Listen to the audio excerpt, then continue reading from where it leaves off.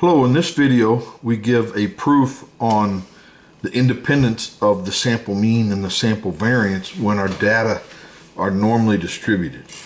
Um, I was looking for a different article when I happened to see the title of this and it intrigued me and it deals with proving that the mean and the variance, sample mean and sample variance are independent when our data are normally distributed. And it's an article from Stephen Stigler. And the article goes like this that we have data that are independent, identically distributed, normal random variables with mean mu and, and variance sigma squared. We're going to let the sample mean, so this is x n bar, so it's a sample mean based on a sample of size n.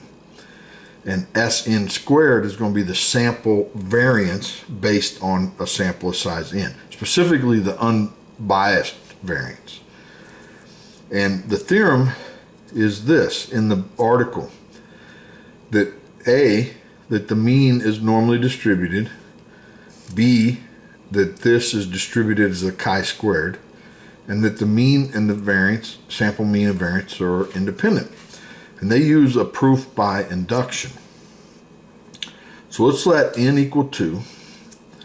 Then we can write the sample mean of this sample of size 2 in term in in this fashion. So it's uh, yeah. And then the sample variance can be written like this. And now I'm going to make reference to a video I just put out called adding one observation and recalculating the sample mean and variance. We're also I'm also going to allude to this on page 2 but the sample mean and sample variance can be written like this now, we know that x1 and x2 are independent because it's a random sample.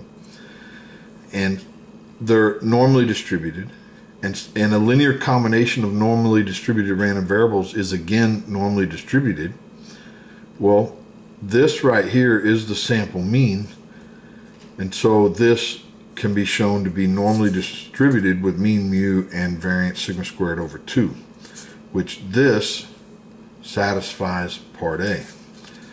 Now, part B, x1, x2 is a linear combination of independent normal random variables. So it itself is normal random variable. And you can show that it's normal 0 and variance 2 sigma squared. Well, if we divide this by the standard deviation, so that's the square root of 2 sigma squared, then this is a normal 0, 1 random variable. And if we square a normal 0, 1 random variable, then it's a chi-squared with 1 degrees of freedom. So we square this, but this piece here with the 2 is the sample variance. So it's the sample variance over sigma squared. And then we it's 2 minus 1 times the sample variance. This is is chi-squared with 2 minus n, which is 1. And so part B is satisfied. Now, here, if we look at the bivariate random variable, where this is x1 plus x2 and x1 minus x2. See, we could call this y1 and y2 if we want, but I'm going to leave it like this to illustrate that these are the random variables. Now, note that if we take any linear combination of this, so a times this first one and b times this second one, and rearrange, then we get a linear combination of independent normal random variables, which itself is a normally distributed. And one of the definitions of bivariate normal is that every possible linear combination is a normal random variable. And it is in this case. So that says that this is a bivariate normal. So they're independent, normally distributed, which implies this is bivariate normal. Now let's look at the covariance between these two random variables. And then in the in the normal setting, bivariate normal setting, we know if the covariance is independent, I mean zero covariance is zero, then they're independent, and actually vice versa. So let's look at the covariance between these two random variables. So we take the covariance of 1, 1, covariance of x1 and x2, but they're independent, so that's 0 covariance of x2 and x1. They're independent, so that's 0. and then minus the covariance of x2, x2. Well, the since it's the same variable, that's the variance of x1, which is sigma squared, variance of x2, sigma squared, sigma squared minus sigma squared is zero.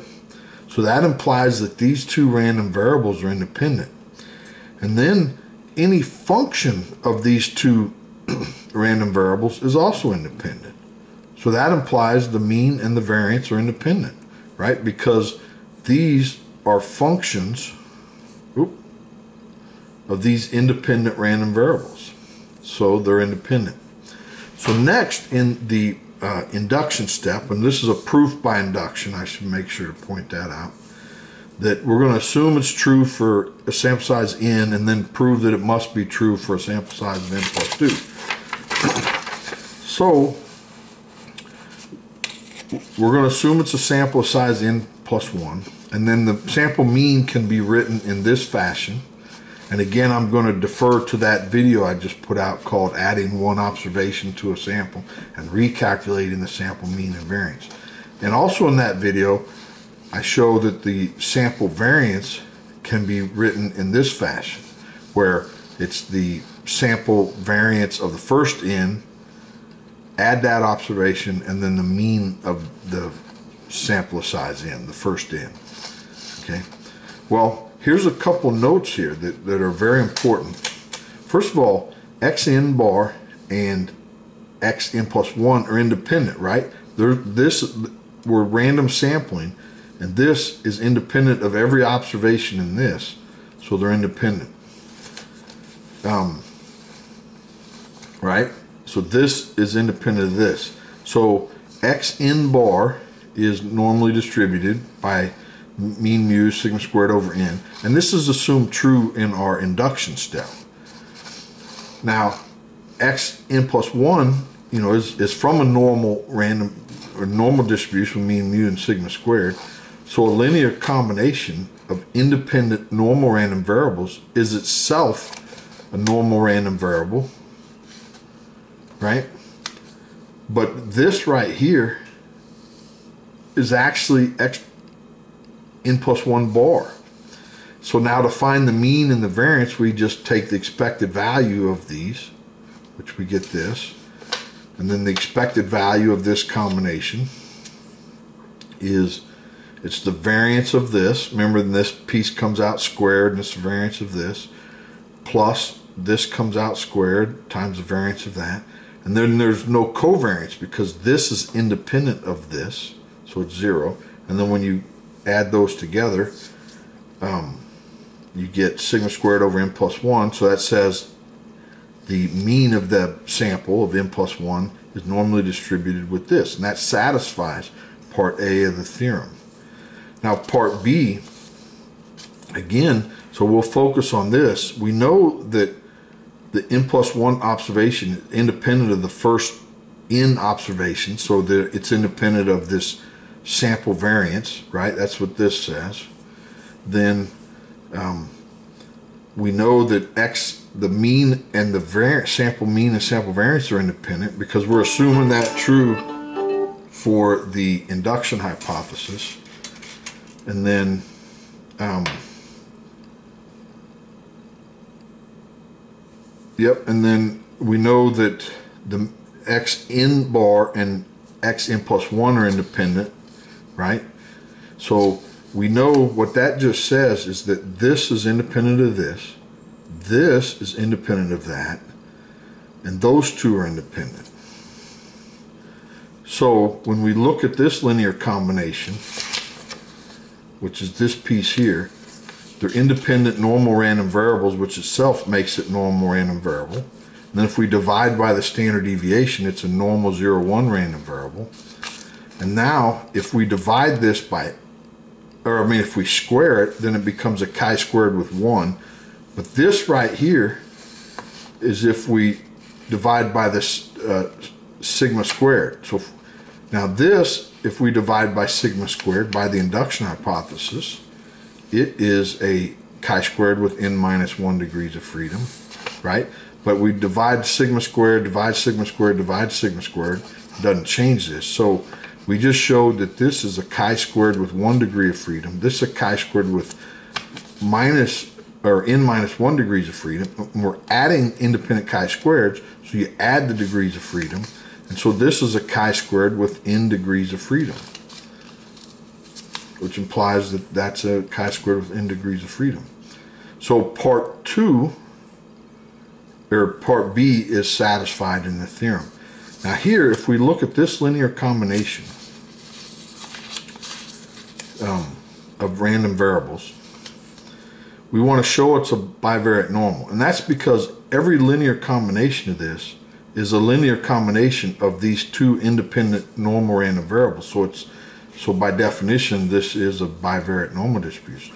So let's look at the covariance between those two. Then it's the covariance of this and this, which is zero because they're independent. Covariance of this, which is this piece here. Covariance of that, and then they're independent, so it's zero. Now this is sigma squared. This is minus n times the variance of the mean, which is sigma squared over n. So sigma squared minus sigma squared is zero. So that says these two random variables are independent.